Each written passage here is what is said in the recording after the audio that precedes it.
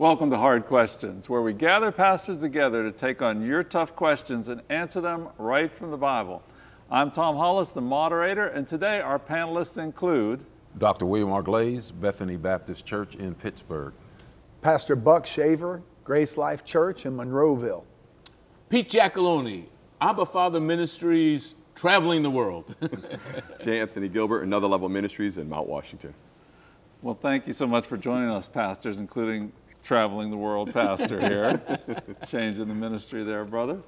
But, uh, you know, this is a, a very special uh, hard questions around the whole issue of race and reconciliation. Uh, pastors, we all know uh, in our society right now, because kind of spawned by what we saw in the video uh, with George Floyd, but, but revealing what is in society and what is uh, issues that, that are there that need to be dealt with and need to be talked about and need to be talked about in a Christian perspective as well. And I just want to start off, uh, you know, some may say that, that racism isn't prevalent in our culture anymore. Incorrectly, they would say that. But what would you say to them? And I, would just like to ask Dr. Glaze to start off. Well, you know, I would say that it is. And uh, what's I've, your experience? Yeah, and I, I was going to say I've been a victim of it. Uh, my son, when he graduated from college, uh, he moved to uh, Tucson, Arizona, and I, you know, told him I would ride out with the, to help him ride. And so we were in uh, Oklahoma, coming into Oklahoma, and you know how you have those uh, toll booths, mm-hmm. and uh, you know when you're in a, a, strange place, you're trying to figure out, you know, yeah. which, which I mean, do I go to Easy Pay to pay, you know? yeah. Uh, so I'm, I'm trying to look, and then all of a sudden, you know, I kind of see the one I'm supposed to be in, and I turn. Well, as soon as we go through, we're pulled over by st- two state troopers. And uh, he says, Do you know that you made a, a, turn without putting on your turn signal? And he, I'm, I'm, like, What? you know, I mean, yeah, I mean, you got a case, but. You changed yeah, lanes. Yeah, All right. you did was change yeah. lanes. So he, he told me to get out of the car mm. and go sit in his car. He sat in the car with my son, talked to my son for about 15 minutes. And then came, in, in the meantime, there's a guy standing out outside of our car, you know, with a with a rifle, mm. uh, you know, state policeman. And so then he comes back and starts talking to me. And uh, I don't know if he was profiled us, you know, because you know we were black, and maybe he thought that we had drugs, we had out-of-state license plate. So you know, I, you know, I mean, that's that's just one experience. So I, you know, I have personally experienced, you know, profiling, and it's it's not it's not pleasant because you know one, of the things that I realize, and then I'm I'm, I'm going to be quiet. Take your time. That as a, uh, I mean, let's put, you know, in, in, in, at our church, we have a great relationship with the Pittsburgh police. Great relationship. I mean, you know, they come to our events, they block off the street. They, I mean, so you know, I have I have no complaints. But there's one thing that I realize that most black men in America, whenever they see a police off a police car pull behind mm. them or beside them, I don't know about anybody else, but the first thing I think, what happens if this goes wrong? You know, yeah. what can happen? I mean, that's that's just a thought in my mind. Sure. So I'm yeah. not sure if, if, Jay would have that same kind of thought, but you know, you know, that's that's a thought as a black man in America. Mm-hmm. Yeah, you know, one of the things I want to say is because people say it's not prevalent, and I think a lot of times they gauge it from the standpoint that uh, we're not where you were growing up in the 60s and 70s because we're not. And for people to think that they've experienced racism like your generation oh did, gosh. they have no clue.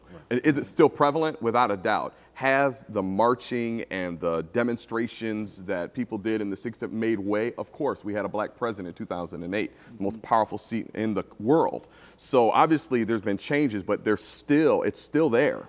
And I've had it in my life. I mean, uh, I remember I was dating, there's a little humor here. I was dating a girl, and uh, her, her father didn't like black men, and uh, she liked me, poor guy. Uh, but anyways, she had good taste. Uh, a little, little joke there. Little, that's right. You know what I'm saying? Who would turn this down? You. you know what I'm saying? Yeah. What's up? But but anyway, yeah, I'm with you, bud. But it was funny because like all of a sudden I went in and she said to him, he goes, "What is he Italian?" And I was like, "No, he's not Italian." I was like, "He's black." You know, it's just the way it is. And uh, but I mean, whether it's dating people, being at a party when I was a young boy, and hearing things, being ostracized. But this is the thing a lot of people don't get. Me being mixed they didn't know that actually I was profiled against blacks and whites. Yes. Because black people said I wasn't black enough. And so they would tell me I wasn't a true brother as I was growing up Yeah. because I didn't have the nappy hair and couldn't do the high top fade and all that. Mm-hmm. And then uh, with the white people, I couldn't fit in because. I, I really did. And I battled with both of those growing up. I didn't fit in with blacks or whites. And I was picked on, bullied eh, by black people Mm-hmm. because I was mixed and I was pretty. So, you know, they didn't like that. But but the reality but I dealt with both of those, not just white, but also with black as well. A lot of people don't realize that being mixed wasn't always easy to grow up with. So I've experienced it on both sides of And the table. Jay, as a grandfather, I see my granddaughter who is gorgeous. She's 18, and she is half and half. And it breaks my heart sometimes because my son recently wrote a beautiful, beautiful article being the father of a child that's half black and half white. And what he wrote was just amazing. And the heartache, because my Milena is, she's 18, she's gonna be 19 July 4th. Uh, she is just absolutely gorgeous. But the socialness that she goes through, Without a doubt. even today, it breaks my heart. And it was a black gal, and, and this gal was African black, all right? She wasn't light tone that came into my son's life many, many, many years ago that changed his life radically. And they were, they were dating in high school, and, and, and my wife and I would see it many times at the church. We were so saddened how that we would be off the side where people didn't see us, and they would come in hand in hand, and we'd see many folks just shaking their heads. It broke our hearts. Wow. It broke our hearts. Wow. You know, and these are born again believers. Now, are we judging them today? No, no. It's, it's something that they have to work through. We all have to work through prejudice. And uh, it, it was, uh, but this gal, now Pete never married this gal, and he didn't have our daughter Melena to this gal. But, but the, what I'm trying to say is, we saw, matter of fact, when I took my son to Bible college in the deep south, Ozark Mountains, the, the gal came along to go see what the school was like, looked like, you know, and then I brought her home. Um, and uh, the, the, the sad thing was uh, the dirty looks that they got in restaurants uh, was, was appalling. Well, let- let, let me let me move into a, a second question here, and Buck, I'll, I'll ask you this: What is racism? What exactly is racism? What, Well, you know- how do we define that? I think you, you look at superiority over another race, uh, uh, arrogance, a pride, um, uh, uh, prejudice, uh, not acceptance of this diversity that God created. And really, j- just like everything else, a lot of stuff's rooted in arrogance and pride. There you go. And so, you know, when you let that in your heart, uh, I agree with all you guys. When you, when you see this stuff, it's sad. My father took me as a young kid. We went to Oakmont Baptist, and on the way, my, my father said he always had all kinds of color around him, like foreigners. And so he said, Son, let's stop off and see my, my, my brother, Jocko Rice, sing in a choir. It was all black church. Yeah. And so I went up there, and as a little kid, I, I think that that my father helped dismantle that. That's right. I was in Hazelwood, the Abriol Auto Stores. My family sold more parts, auto parts to people. And I said, Daddy, I was, I think, four. I said, There's a chocolate man. And my dad pulled me over, and with tears in his eyes, he said, young, young man, he said, these have been through so much racial tension. And I remember as a little kid, he said, there's not black, there's not white, and, and- and there's just one kind of human race. We all have red blood. And Jesus, so my father kind of helped dismantle that. So I was in a Department of Corrections home with all African American young men, working with them. And so my whole life was surrounded. Uh, and I call that uh, a privilege to grow up with people of color because I think it helps dismantle that demonic. What it is, it's a demonic, not a skin problem. That his skin's a little darker than mine, his is a little darker. It's a sin problem. And I think at the go, Cook. core of men and women, racism is demonic. It's created to divide. And he who isolates himself seeks his own desire, rages against all wise judgment. It's rooted in selfishness. I'm better than you. I'm better than you. It can be economical, go. That's right. sociological, skin color. The devil loves division. In a house divided, Divided. against itself cannot stand. Absolutely, absolutely. Pastor Glaze. You know, and, and that, that's an excellent definition of uh, racism. And, and I'd like to take it a step further, you know, and, and define systemic racism. Mm-hmm. Because I think that, that that's the root, what, what Buck uh, said, yeah, that's the root. yeah. But now, when you, when you look at the fact of, uh, you know, black men being killed by police, Mm-hmm. uh, when you look at uh, black people, you know, not being able to get loans, uh, you know, when you look at the fact that, you know, apartment, you know, if, if you try to get an apartment, no, no, this is not in every situation, but in a lot of situations, uh, you know, they, they'll talk to you, but when you show up and they see that you're black, then, you know, uh, well, well, you know, we rented it last week, you know, you know, that type thing. Uh, racial profiling. So, that, you know, you know, he did a beautiful job defining racism. But this is like the byproduct, the systemic part that still, you know, resides. And a lot of people say, "Hey, everything is all right. You know, there's no problems today." But you know, th- this this is at the root of a That's lot of things That's that we see. Yeah. Yeah. Well, you know, uh, along that line, Pastor Glaze, things are written now so that that stuff doesn't happen, but yet it still happens. Oh yeah, yeah. You know, and so battling this systemic racism, that's where we need to be. You know, we need to be. Obviously, we all need personally Sure. to to not fall into what uh, you know to, to what your dad did such a good job of keeping you uh, uh, out of Buck to understand that that everyone is God's children, everyone is is equal. But but what do we do, Pastor Jay? Maybe you could comment. What do we do to battle systemic racism? Well, you know, in our society too, I believe it's it's been happening. You know, I want to go to something you said. You have to uproot. I believe this is a season where a lot of the major things are, you know, people, black people can vote now. We can do a lot of different things, but there's a lot of things within. I know time is short. I, I know there's a lot of things that we have to. These statues, some of these statues, Confederate flags. I think there's a lot of things that are hidden, silence Right. that need to be dealt with. So then what happens? We get rid of the root. So this stuff doesn't keep sprouting up every so often. That's good. Well, we are going to take a, a short break, but stay tuned for more hard questions after this.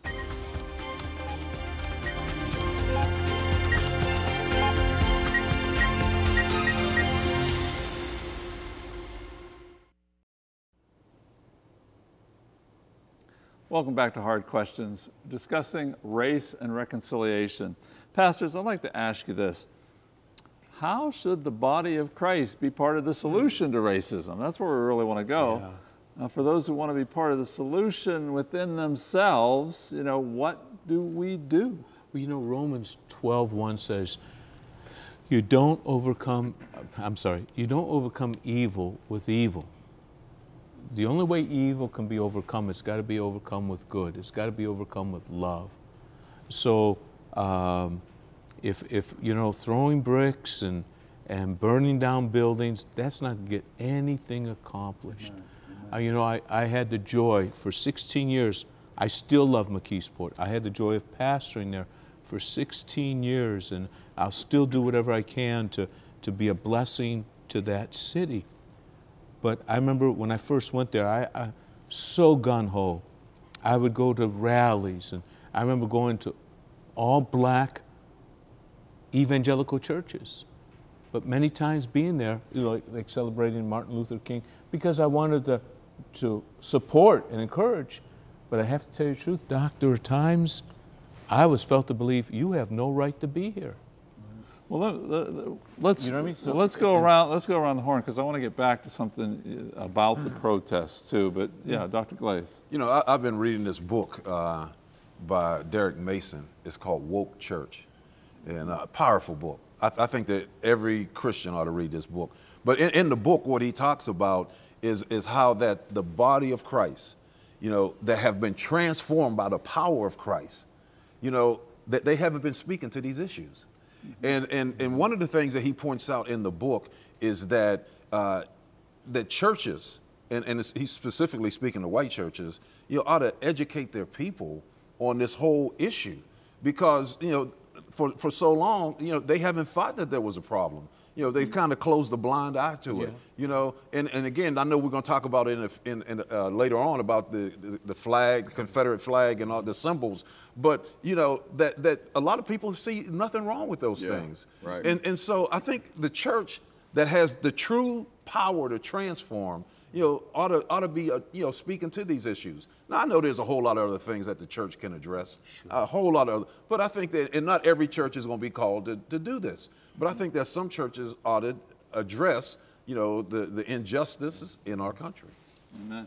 And, and Tom, if I can throw this in real quick, what, what I was saying, not all, not all, I, I got to emphasize this because not all did not make me feel uncomfortable, but just a, a, a, a few made me feel like you have no right in being here. And I got to emphasize not all, Right. Because that's not right. Buck, what can we do? You know, I think uh, what we've done is, I, I don't think this is some big monumental thing you can address at a governmental level. It's a, it's a heart level. Yes. So the church has to lead in this. If the church doesn't lead in this, that's a problem. Because Sunday morning, like Dr. King said, can be the most racist, Yes. segregated hour of the week. Absolutely right. So what we've done, if we purpose in our heart to bring unity through cultivating relationships, one of the goals 10, 15 years ago was like, let's model music. You know, and, and, and we have conversations with black couples in our church, probably now in the last three months, hundreds of meetings. Pastor, why don't we model some good gospel music? Because we want people to feel at home, right? Wh- Why don't we? Why don't we have leaders? Not just that we say put a guy up there because he's black. We really Right, love right, each right, other. This man leads Yeah, in our church, and we got it going on because we've had the conversation. A gentleman I didn't forget. We had some brothers come over, and we did this racial reconciliation thing. Said, go to my church, go to my home, and, and prepare dinner. He's a chef, phenomenal man of God. But when he got there, I didn't realize till a half a day later, he texted me, Pastor, I got to be honest. He's a big three, 400 pound black man in an all white neighborhood. And he was going into my garage door and he said, Something could have happened to me. Hmm. And I, I, I didn't. And, and you know what? He said his wife was crying. He said, I've been having dreams of an officer putting his hmm. neck on my, his foot on my neck. And I, and I, I said, here's what I said, here's what hit me as a pastor. I'm in my car two hours away and I t- started weeping. I said to my wife, I didn't even think about it. Yeah. I didn't, I think that lies the problem. I didn't even think about it. Like when a young black boy gets profiled by a policeman, my child doesn't deal with that. But I thought, I put this man at risk because I wasn't Unknowingly, thinking. unknowingly. Right. So I think Yeah. the conversation, I love this scripture. Listen, Paul says, Become all things to all people, I might win some. I love the message Bible. I kept my bearings for Christ. I didn't take on their way of life. I entered their world and tried to experience things from their point of view. And so I think in the church, if we experience, I, I, I had my brother over, I said, let's have barbecue ribs and let's do this and let's do that. And he looked at me and goes, Pastor, I don't like that. I like Alfredo. So we have these, we have, we have these, yeah, he's like, "I want ribs. He said, why you assume? So we presume and pre-assume Yeah, things, yeah, yeah, and yeah. it's not right. And why is that? Because we haven't had the loving conversation right, right. with the brother, and I have brothers all around me, and and now I'm I'm learning. You feel this way. I was in my office last week, and this guy was telling how he felt coming out of COVID. That, that black people were were twice susceptibly because of the diabetes and this, and he was telling me this. And then he got up and I said, Don't the Lord said to me, Don't have an answer. Just put your arms around him and love him. There you go. I held him for about 25 minutes and he, he just wept and there was a wet carpet. And the Lord said, How about we just love like Jesus? That is so good. You know, that Wonderful. conversation's important, how you feel in a listening ear. I believe that's one of the answers. Absolutely. You know, and Tom, a lot of times um, white individuals want to know what they can do. I mean, you know, I don't think black people are looking for Sincerely. like, you know, oh man, let me do everything for you, get down, wash our feet, and do everything for us because we, you know, a lot of times I think the biggest thing they can do is just like a woman, we're all married here. Uh, they want you to understand. Yeah. You, you may not even be able to. Un, you may not be able to comprehend everything and be able to say, "Oh, that makes sense," because you, if you've never been profiled, you don't know what that feels like. You, you just come in, your heart's completely pure. You're sitting down, you're getting ready to do something, and bam, somebody hits you over the head with something because of your color. And w- if- until you've been there, you don't really have it. But to say, you know what, I'm sorry that that happened. You know, and then understanding is so so vital. And if you can do that, I think that's what most people are looking for. That's why the rioting and the looting and all them people are just saying, would somebody please understand? Now they're going about it the wrong way, the rioting and the looting. Protest, though. Correct, Protest is correct, fine.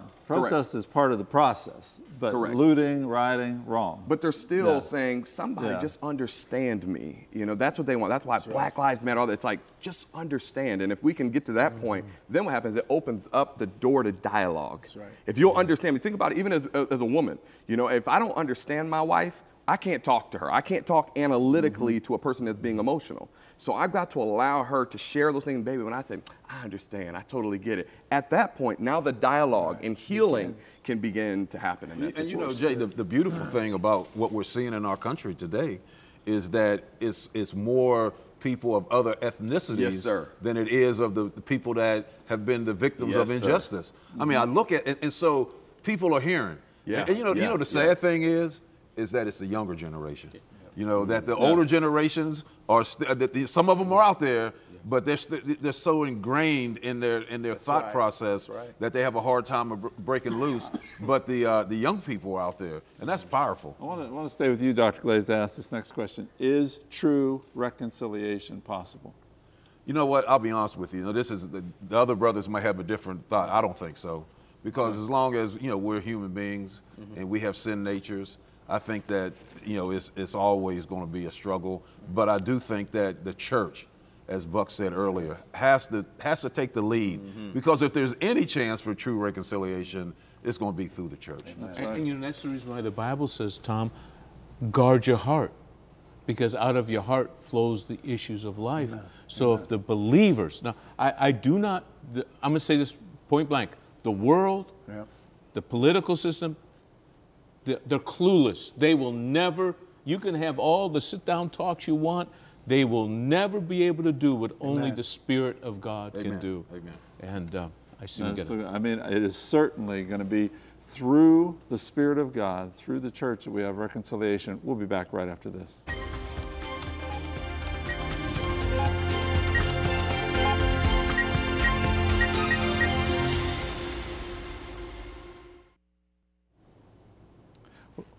Always like to end the program with a scripture, and today we go to Mark where it says, Love the Lord your God with all your heart, and with all your soul, and with all your mind, and with all your strength.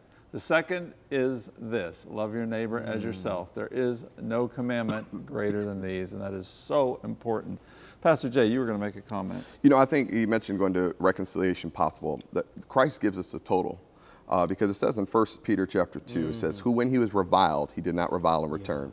When he suffered, he did not threaten, but committed himself to him who judges righteously, who bore our sins in his own body, that we would be healed. If we want to be agents of healing, when someone reviles us, we can't revile back. when somebody, when we're Jay, suffering, we can't threaten, but we must follow Christ's example, which is hard. We must be willing to become an agent of healing. He took our stripes, He took so our hate, He took our sin to become an agent of healing in return. So if we want to be agents of healing, we must follow Christ's example, which is a hard one. That is a hard one, but that is a very good lesson. Pastor Glaze. You know, one of the things that's on my heart because uh, I see it is prevalent in our society. Uh, that you know, I'm for Black Lives Matters. I mean, people that have it on their shirts, people that have it on their cars. Hey, I say, man, yeah, I, I agree with you. You know, and, and I wholeheartedly agree with the fact that you know we need to give value to lives that have been devalued for a long period of time. But I think we have to be careful because there's other groups that are coming along Sure. and attaching their agenda to the Black Lives Matter, mm-hmm. which you know I, I think that, that at that point you know it kind of discredits it. And so you know as as we speak to the body of Christ, I, I really want them to you know be aware of make sure you're supporting you know the the injustice, the inequality of Black Lives Matter, and not the social agendas that are attached to Black Lives Matter. And I, and I think from a, from a white person's perspective, there's a tendency to say, well, wait a minute, all lives matter. But when we say that, we're not understanding the history and the things that are there and the brokenness and the pain that is there that brings about the Black Lives Matters. Uh, Well, and, and I heard somebody say, uh, "Not all lives matter until we realize that Black, lives, matter." that's good. You know, so yeah, yeah, absolutely. Buck, any, any last just You a know, few I, seconds? I like Malachi, a reconciliation produced by repentance. That's I absolutely believe that we, as ministers of reconciliation, the answer is Jesus and the church has to be That's the right. hope for the world. Well, we hope you enjoyed today's program. Look for part two coming up soon.